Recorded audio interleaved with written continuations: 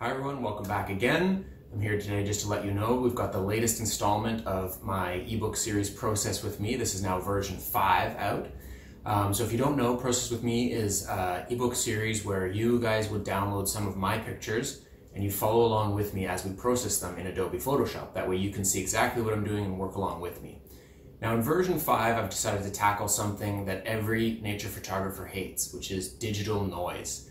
So in this, in this book, we're going to look at, first of all, the first file we'll look at dealing with noise just in Adobe Photoshop. in the second file, we'll look at dealing with noise in Photoshop, but using an aftermarket plugin that you can get for free, which is available from uh, Nik software.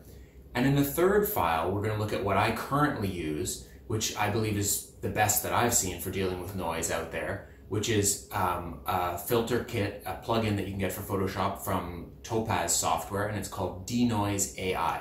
And when I started using this, it really blew me away as far as how good of a job it did with not only getting rid of the noise, but keeping all of the details, especially the delicate little feather details right up against um, the bird's, usually the bird's face and head. So I think you'll enjoy it. If you don't like noise in your images, take a look. Um, I hope you'll follow along, and thanks so much for watching. Música